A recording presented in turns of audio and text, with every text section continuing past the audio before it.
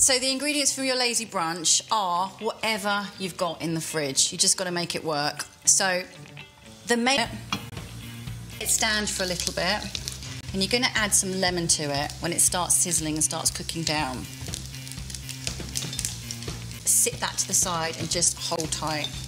So I've got some spinach. If you've got green beans, put them in. Tomatoes, tomatoes work with it and a sausage and some bacon, and that is really good, but sometimes tires you out a little bit more. It's kind of like a false economy. So take between two and three minutes. You just keep an eye on them. That's if you want the yolk really yummy, which a little, a little fix.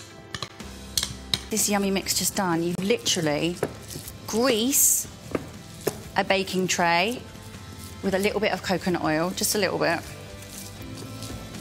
And then you're ready to make your little cookies. And you just kind of push them down, and you want them to be quite thin because you want them to go nice and crispy when they're in the oven.